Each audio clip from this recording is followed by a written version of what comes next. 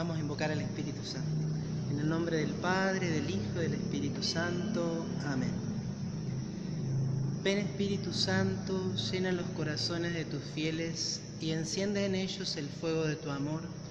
Envía, Señor, tu Espíritu y todo será creado y renovarás la faz de la tierra.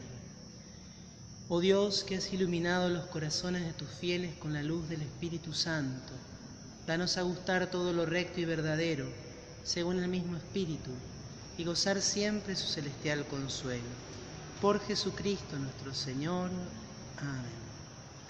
Bendita sea tu pureza y eternamente lo sea, pues todo un Dios se recrea en tan graciosa belleza. A ti, celestial princesa, Virgen Sagrada María, yo te ofrezco en este día alma, vida y corazón. Mírame con compasión, no me dejes, Madre mía.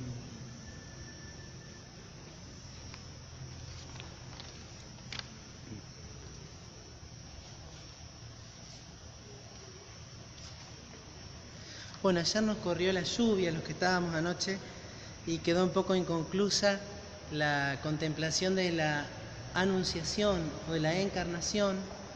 De todas maneras, como yo les, decía al principio, el ejercicio, o sea, la parte más importante, la hace la persona cuando está sola en su momento de oración, sacerdote, predicador, pero que en realidad en los ejercicios espirituales no es predicador da algunos puntos y después cada uno lo que tiene que hacer es justamente ejercitarse, ejercitar la inteligencia, ejercitar el afecto, ejercitar la imaginación, ejercitar la memoria y así con cada una de las potencias.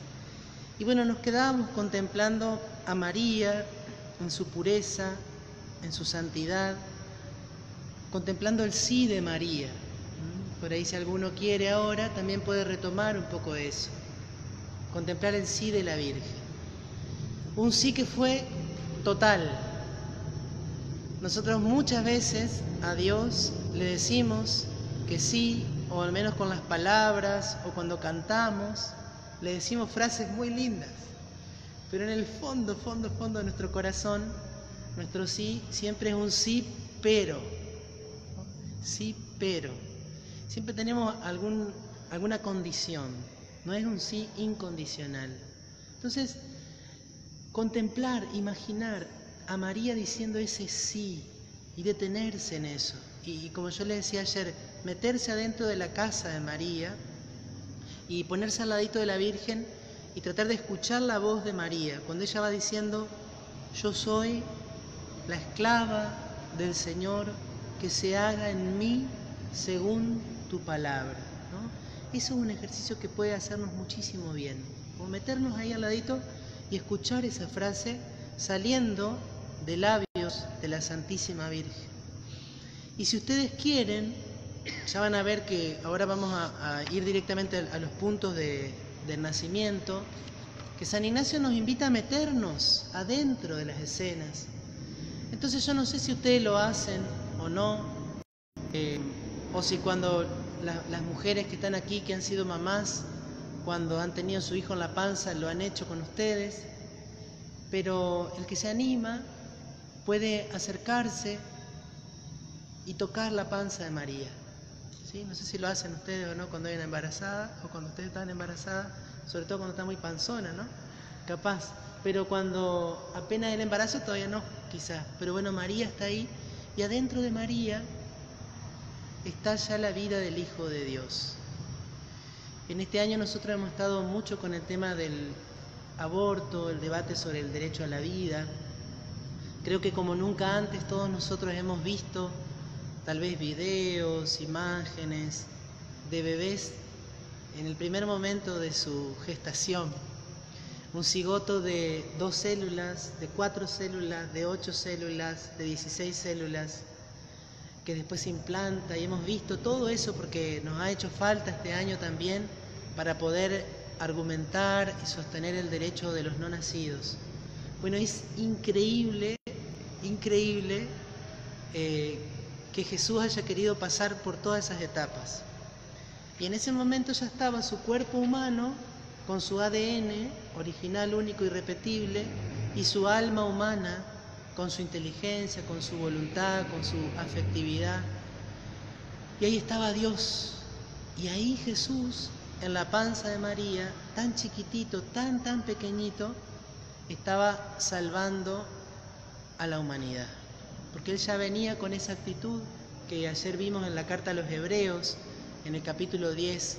He aquí que yo vengo, oh Dios, para hacer tu voluntad.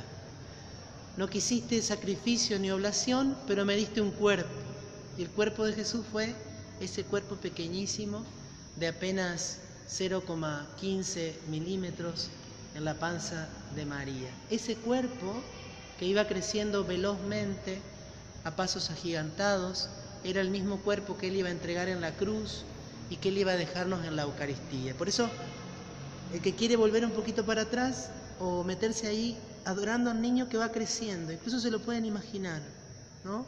A ese bebé, a ese hijo de Dios, que fíjense que a los cinco días de gestación, o a los seis, o a los cuatro, no sabemos exactamente cuánto, yo calculo que fue a los cinco, ya Jesús anduvo haciendo milagros. El Evangelio de hoy. Porque cuando Jesús tenía cinco días de gestación, llenó del Espíritu Santo a Juan. Zacarías había escuchado ese anuncio. Él tendrá, estará lleno del Espíritu Santo del seno de la madre. ¿Quién le dio el Espíritu Santo a Juan en el seno de la madre? El verbo hecho carne que apenas medía 0,3 milímetros o menos todavía. Eso también es impresionante. Y mm, también para nosotros pensar si la carne de Jesús, si la humanidad de Jesús, si la presencia de Jesús tan chiquitito lo pudo llenar a San Juan Bautista del Espíritu Santo tan pequeño, ¿cómo no nos va a salvar, cómo no nos va a redimir en el sacramento de la Eucaristía? Donde en cierto modo Jesús como que vuelve atrás en ese misterio de hacerse pequeño, pero no lo hace una sola vez, sino que lo hace una y otra y otra y otra vez. Y así quiere venir a nuestro corazón. Entonces, el que quiere detenerse en eso y ir acompañando a la Virgen en su embarazo, imaginándosela, también a veces nos puede venir bien. Esto es una sugerencia libre, tal vez para aquel que quiera hacer el ejercicio. Puede habernos sucedido a todos nosotros, a alguno de nosotros, que nuestro, nuestra gestación, el tiempo que vivimos en la panza de nuestra mamá, tal vez no fue un tiempo tan fácil, tan tranquilo. Tal vez justo en el momento en que nosotros fuimos gestados, nuestra mamá, nuestra familia, quizá nuestro papá o estaba ausente, o había dificultades, o había problemas.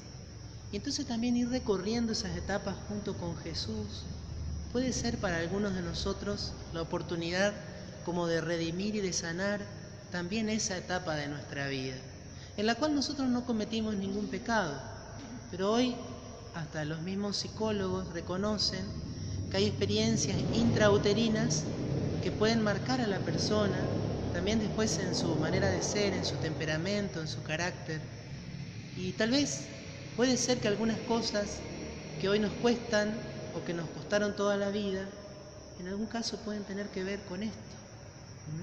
Tal vez alguno de nosotros le pasó la experiencia de no ser un niño o una niña deseado, esperado, sino que tal vez nuestra concepción se dio de un modo quizá no el mejor. Y sin embargo, el Señor nos regaló la vida y como decía el Salmo 139, Él nos fue tejiendo en el seno de nuestra madre. Pero entonces cuando lo vamos contemplando Jesús, que crece, crece, crece, crece, crece en la panza de María, tenemos la oportunidad también de sanar eso, o puede pasarnos al revés, tal vez para aquellos que tienen la experiencia de la maternidad, quizá alguno de los embarazos no fue fácil y quizá en algún momento del embarazo o al principio o en el medio, tal vez tuvimos o tuvieron dudas, dificultades, ese hijo quizás no venía tan fácil en un momento tan bueno del matrimonio, de la familia o de la adolescencia o de la juventud y quizá en algún momento en la cabeza de alguno de las madres o de los padres atravesó, cruzó una idea que no era de Dios. Bueno, tal vez ir a acompañar a Jesús en ese proceso de su gestación puede servir para que todo quede redimido, que todos los recovecos, los huecos de nuestra historia personal, hasta aquello muy íntimo que tal vez nadie sabe, porque nadie fue testigo, porque no se lo pudimos compartir a nadie, también el Señor lo pueda redimir. Y bueno, y llegamos al nacimiento. San Ignacio de Loyola, en el libro de sus ejercicios, justamente, él va a proponer, cuando vos haces el mes entero de ejercicio, que hagas un montón de contemplaciones. Pero el libro es chiquitito así, no están todas bien desarrolladas. Solamente de la vida de Jesús, él invita o desarrolla dos de la segunda semana. La de la encarnación, la de María concibiendo al niño, y la del nacimiento. Y después, tomando estas, estas sugerencias que él hace, uno puede meterse en todos los otros rincones de la vida de Jesús. Entonces dice, la oración preparatoria, siempre acuérdense cuando van a hacer una oración, eh, no solamente para hacer ejercicios espirituales, sino cualquier momento de oración, siempre disponernos. No somos robots, no tenemos un botón por el cual nosotros apretamos y me pongo en modo oración, no como el celular, que tenemos los distintos modos. Bueno, nosotros no tenemos un botón para poner modo oración, tenemos que disponernos. A veces el error que tenemos es que, no sé, llegamos reapurados así hacer un montón de cosas y queremos pasar sin transición de venir ocupándonos, no sé, de hacer unos trámites en la municipalidad a ponernos a hacer un momento de profunda contemplación del Señor. Y bueno, obvio que no es tan fácil. Entonces, disponer el cuerpo y disponer la mente, disponer el corazón, pedir la gracia del Espíritu Santo, pedir que el Espíritu Santo haga nosotros su obra durante ese tiempo, cuando nos vamos a encontrar con Jesús de distintas maneras y sobre todo cuando vamos a leer la escritura. Primer preámbulo, la historia. Acuérdense cuando dice primer preámbulo, la historia, es una invitación a leer el texto de corrido, en este caso Lucas 2 del 1 al 18. Lucas narra el censo, narra también, es el, único que cuenta este detalle, ¿no? que para nosotros tan familiar por los pesebres vivientes, que no había lugar para ellos en el albergue, y también él es el que narra la visita de los pastores. Si alguno quiere, puede ir a Mateo y buscar la visita de los magos, que también es muy interesante, pero yo le sugiero este, ¿no? La historia. Acuérdense que cuando San Ignacio daba sus ejercicios, cuando escribió el librito por primera vez, no era común que la gente tuviera el Evangelio ni la Biblia. Entonces él le va a dar como un resumen de esa historia. Dice, ¿cómo desde Nazaret salieron Nuestra Señora encinta, casi de nueve meses, como se puede meditar piadosamente, sentada en una borriquilla, ¿sí? imagínenselo al burrito, a la burrita, y José y una esclavita, dice San Ignacio. Es un detalle pintoresco. Yo no creo que María y José llevaran una esclavita, pero ahí lo pone San Ignacio. ¿Y qué es lo interesante? Como yo le decía ayer, las contemplaciones que propone Ignacio se parecen más a participar de una obra de teatro, o sea, actuar en una obra de teatro, que a ver una película en el cine. Entonces, si aparece la esclavita, listo, nosotros tomamos ese papel. ¿eh? Entonces, salimos de Nazaret es muy interesante que podamos empezar en Nazaret. Es muy, como nos hace mucho bien pensar todo, ¿no? Vino el enviado del César, dijo, un censo. ¿A dónde hay que ir? A Belén. ¿Cómo tomaron la decisión, María y José? Yo, uno se pone a imaginar, ¿no? Una mujer a punto de dar a luz y viene esta decisión de parte de, los políticos, vamos a decir así, porque César era el emperador, y quizá para ninguno de nosotros, que nosotros hoy, hubiera sido muy fácil obedecer esa orden. ¿Cómo llegaron a tomar esa decisión? Y cómo ellos, y acá viene lo interesante para la, para la contemplación, cómo ellos supieron leer en una decisión de alguien, que era en este caso el emperador, la providencia de Dios. Y eso para nosotros es muy importante, porque a veces cuando hablamos de la providencia de Dios, nosotros tenemos como una visión quizá un poco mágica, como que Dios nos va a hablar directamente o con un ángel, pero muchas veces el querer de Dios se manifiesta en las decisiones de las personas que nos rodean, nuestras autoridades, y cómo saber leer el plan de Dios también en las decisiones de los hombres. Cómo fueron caminando, el que le gusta se puede imaginar el camino, ¿no? Todo este proceso hasta que llegan al lugar. La composición viendo el lugar, imaginarse la casa de Nazaret, el camino, lugares más agrestes, más desérticos, otros un poco con más vegetación, caminando bajo el sol, caminando al amanecer, caminando al atardecer. Van llegando a la ciudad santa. Es muy lindo imaginarse a María y a José que amaban tanto Jerusalén, con cuánta alegría iban cada vez. Y después de Jerusalén van a Belén, que estaba a unos kilómetros, cuatro o cinco kilómetros de Jerusalén. Imaginarse la gruta del nacimiento. Dice Ignacio que grande o qué pequeña era, que baja o que alta y cómo estaba preparada. No sabemos exactamente, probablemente era una cueva, ¿sí? En la montaña, o un hueco en la montaña al cual se le había hecho como una especie de protección, una especie de techito con vegetación, con, con ramas de árboles o con troncos de árboles o palmeras. Y el lugar, obviamente, no era un sanatorio, no era una maternidad, no era un hospital, no era un lugar limpio, no era un lugar lindo, no era un lugar perfumado ni agradable, probablemente era un lugar frío, húmedo y sucio y con mucho olor. Imagínense eso. A veces nosotros tenemos una imagen muy bucólica, ¿sí? de los pesebres, eh, los lugares muy hermosos, y en realidad era todo muy, muy, muy austero, una gran exigencia para ellos. Ese es el lugar que eligió el Hijo de Dios. El Papa Benedicto XVI en una homilía dice que en el medioevo se solía representar el nacimiento en medio de una ciudad en ruinas. Bueno, ¿qué tendrá que ver la ciudad en ruinas con el pesebre? Y dice el Papa que en el fondo era un simbolismo del mundo, era el mundo el que estaba en ruinas, el mundo en el deterioro a causa del pecado, y ese mundo en pecado, ese mundo deteriorado, es el que viene a reconstruir Jesucristo. Entonces, imaginarse bien ese lugar.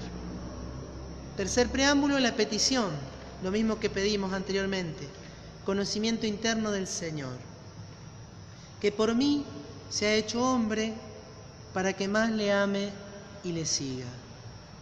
Por mí se ha hecho hombre. Eso es muy importante en estas contemplaciones. Jesús no viene al mundo para salvarnos a todos simplemente. Jesús viene al mundo para salvarme a mí personalmente, particularmente. Entonces, en muchos momentos de la vida de Jesús, también nosotros podemos imaginar este diálogo con el Señor. Señor, ¿por qué haces esto? Imaginarnos que Jesús nos responde, lo hago por vos, lo estoy haciendo por vos, para salvarte a vos, para mostrarte a vos cuánto te quiero. Y bueno, después los tres puntos clásicos, ver las personas, mirar lo que hablan, mirar lo que hacen. Podríamos decir oír lo que hablan, ¿cierto? Pero bueno, está textual de San Ignacio. Ver las personas. Y acá de nuevo, imaginarla a la Virgen. Imagínenla cuando van llegando a Belén. La fe nos dice que no tuvo dolores de parto, lo cual no quiere decir que ella no haya sentido la inminencia del parto. Son dos cosas distintas. ¿Qué había en su corazón? ¿Y cómo se expresaba en su rostro? ¿Cómo estaría María? Imaginárselo a José, a José que llegando a Belén va buscando un lugar para que nazca el niño y se encuentra todas esas puertas cerradas. No sé, yo siempre me imagino cómo hubiera reaccionado yo en esas circunstancias, con cuánto enojo, con cuánta ira, con cuánta desazón, impotencia y violencia quizás. Y nosotros tratar de meternos allí a imaginarlo a José, con un profundo dolor, pero sereno, manso, silencioso. Imaginarla también a María en esa misma actitud. ¿Cuánto, no? Para, para obtener ahí de fruto. ¿Cómo reaccionamos ante las cosas que no se nos dan como nosotros las esperamos? ¿Cómo reaccionamos ante nuestras frustraciones? ¿Cómo reaccionamos cuando alguien nos cierra las puertas? En el plano humano, en el plano afectivo, en el plano familiar. Todos tenemos experiencia quizá de relaciones que de pronto se rompieron y que vos buscaste recomponerlas y encontraste, ¡pam!, una puerta cerrada, así, en la nariz. ¿Cómo reaccionaste? María y José entonces, manteniéndose en paz, sintiendo dolor, preocupación y a la vez la confianza, ¿no? Y también imaginar al niño, el niño a punto de nacer. Bueno, ¿vieron, ¿vieron que dice ahí?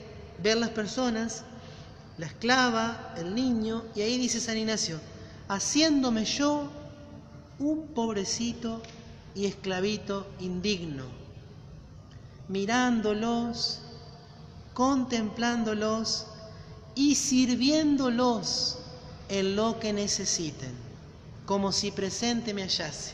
Esa es la palabra clave de los ejercicios ignacianos en las contemplaciones. Entonces, te fuiste al lugar del nacimiento. Yo te invito a que te metas. Y lo primero que hay que hacer que es limpiar el lugar. Entonces, imagínate que estás ahí y lo ayudas a San José a sacar si hay algo que tiene olor feo, a prender un fuego, a buscar eh, algo de, de pasto seco para que María pueda estar más cómoda, tal vez buscar de afuera algo que pudiera traer un aroma más agradable, ventilar si se podía. Pero imagínate que vos estás ahí y que lo ayudás a San José a hacer eso. Y por supuesto que el momento más impresionante es el del nacimiento, pero ahí nos tenemos que quedar con las ganas nomás, porque no sabemos cómo fue. ¿eh? Y hay, hay, algunos narradores del nacimiento, yo soy un gran admirador de eh, que es un escritor polaco, autor de varios libros, pero el más perfecto para mí es La sombra del Padre. No le estoy haciendo publicidad a la, librería parroquial, este, pero no sé si lo tienen, lo pueden comprar, vale la pena realmente ese libro. Y bueno, eh, vos cuando vas leyendo el libro decís, ajá, ¿y cómo va a narrar esa parte? Porque viene tan perfecto, tan perfecto, tan perfecto, que vos decís, ¿cómo lo va a resolver? Bueno, y por supuesto lo resuelve magistralmente, no se los voy a contar para que lo compren el libro, no. Justo en ese momento San José sale afuera, sale, ¿no? porque el libro está narrado desde San José.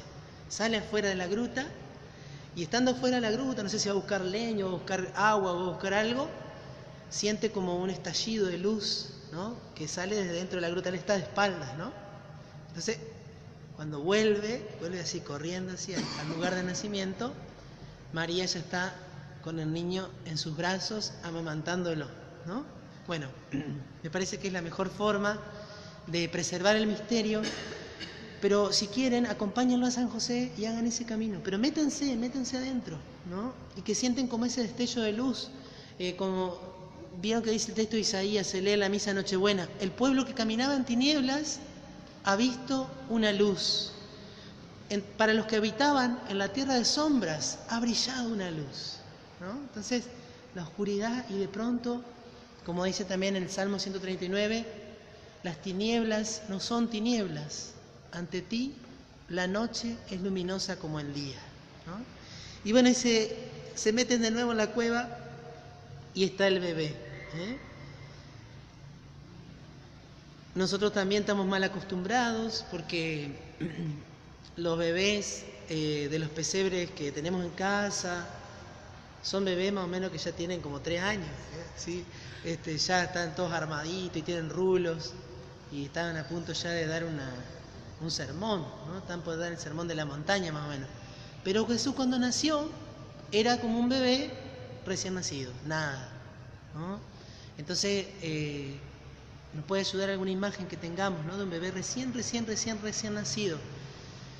Y ahí dedíquense, quédense, hagan el ejercicio este, pero dedíquenle tiempo, todo, ¿no? El bebé con las manitos, como son las manitos de los bebés, los piecitos, vieron que la piel es media como transparente, ¿no? Todos los, los detalles que tiene un bebé recién nacido que apenas, apenas puede abrir los ojos, o vieron que los bebés cuando bostezan es como que la boca se le arruga, así no sé cómo decirlo, que media rara así la forma que tiene de bostezar. Bueno, ustedes saben mejor que yo seguramente. Y no solamente lo miran, acuérdense, como si presente me hallase. Primero imaginar a San José que se arrodilla delante del niño, que lo besa, que lo toma en brazos. Y después ustedes mismos, esto para mí es el, momento más hermoso del ejercicio del nacimiento, pedirle a María que les dé el niño. ¿Eh? Se lo piden. Se lo piden. Acuérdense, utilizamos todos los sentidos. Vista, gusto, olfato, tacto y oído. Todos los sentidos espirituales. Y tomar el bebé en nuestros brazos. ¿Sí?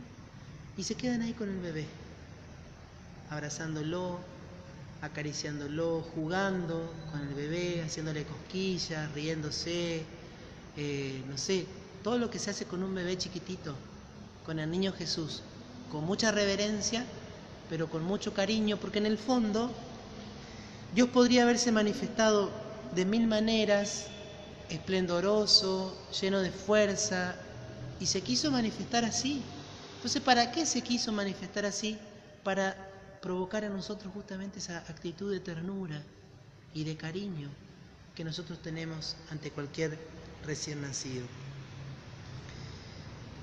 Y se quedan, se quedan ahí, dice, mirar, advertir y contemplar lo que hablan. No sé, yo también me imagino por ahí a María y a José llorando de emoción, llorando de alegría. Tal vez María, si había cantado en la casa de Isabel, Tal vez se puso a cantar ahí en ese momento, se pusieron a cantar con San José y mm, mirar lo que hacen, sobre todo el Señor, pero también ellos. Después van a aparecer los ángeles y van a aparecer los pastores. Entonces también imaginarse a los pastores, a esos hombres rudos, probablemente no gente tan Em, prestigiosas, solían ser personas con bastante mala fama, los pastores, porque al vivir de noche, lejos de la civilización, muchas veces tenían una vida no tan buena. No son los pastores simpáticos, no son los pastorcitos de Fátima. Los pastores de nacimiento solía ser gente que a veces hasta tenía como cierta fama de delincuente, ¿sí? Y bueno, a eso fue a buscar Dios los primeros. Imaginarse cómo llegan, cómo entran, cómo reverencian al niño. Y el canto de los ángeles. Si alguno le ayuda, también eso, ¿no? Hacer intervenir el oído, el niño llorando, los ángeles cantando, María y José, los pastores con exclamaciones de alegría. Esa es la contemplación del nacimiento yo creo que como gran fruto también de esta contemplación y con este conocimiento interno de Jesús, una de las cosas que más puede ayudarnos a hacer crecer es la ternura con Dios, la delicadeza con Jesús. Darnos cuenta de que el amor del corazón de Jesús es un amor plenamente humano y que así como es un amor humano, también Jesús sufre por nuestra falta de amor. No es así una metáfora, ¿no? y quiere hacerse niño como para darnos a entender esto, que necesita de nosotros. Sabemos que Él es todopoderoso, pero Él eligió esta manera. Entonces a veces nuestro trato con Dios, nosotros por ahí podemos ser como demasiado distantes, demasiado frío, una religión quizá demasiado automática o basada mucho quizá o demasiado en el cumplimiento. Y el niño nos descubre esta dimensión como mucho más de la ternura, del cariño, del afecto, que tenemos también que redimir. Que no es sentimentalismo, sino es darle al sentimiento, a las emociones, el lugar que deben tener. Porque nosotros lo debemos servir a Dios con todo nuestro ser. Inteligencia, voluntad, sentimientos, afectividad, emociones y con nuestro cuerpo, por supuesto, con todas las dimensiones de nuestra persona. Bueno, el coloquio, San Ignacio acá nos da tantas indicaciones. Dice que podemos hablar con Dios Padre, pero también con María, está en el punto 117, pidiendo gracia según lo que sintiera en mí, para seguir e imitar más al Señor nuestro, que acaba de encarnarse. Entonces, pidiendo gracia según lo que sintiera en mí. Alguno de nosotros quizá nos impacta y quizá estamos necesitando en este momento pensar en la pobreza de Belén. Quizás sin darnos cuenta nos fuimos volviendo demasiado ambiciosos, demasiado materialistas, demasiado consumistas. Quizás estamos demasiado pendientes de lo que tenemos o no tenemos. Quizás incluso nos agarra así un poco este fin de año o esta Navidad. Entonces podemos pedir, Señor, dame el amor a la austeridad, el desprendimiento de las cosas materiales, el saber contentarme con lo que verdaderamente yo necesito. Para otro puede ser, lo vamos a seguir meditando en el segundo ejercicio, si Dios quiere, el poder fortalecer el amor en la familia, el cariño hacia los hijos, los hijos chiquitos y los hijos grandes, ¿eh? porque los hijos siempre siguen siendo chiquitos, sobre todo para las madres, como que nunca crecen, ¿no? Y a veces mirándola a María, cómo cuida, cómo protege ese niño, mirándola a José, también podemos descubrir y pedir eso, Señor. Aumenta, mantén vivo en mí el amor. Y así con cada una de las virtudes de María y de José. Yo lo que les aliento entonces a detenerse, arrancando en Nazaret, pero no dejen de tratar de llegar a este encuentro íntimo con el recién nacido.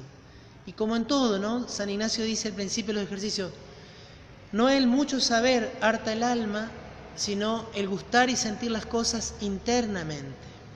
Entonces, no lo aclaré antes, pero para los que han hecho ya los otros ejercicios, sí. Yo estoy en el primer punto y ahí me, me quedo y encontré ahí lo que el Señor me quiere regalar, encontré consolación, me quedo ahí, no importa si no llego hasta el final. Porque no el mucho saber harta el alma, sino el gustar y sentir las cosas internamente. Y seguramente en ese lugarcito donde el Señor te regala consolación, está la gracia que Él quiere darte en este ejercicio.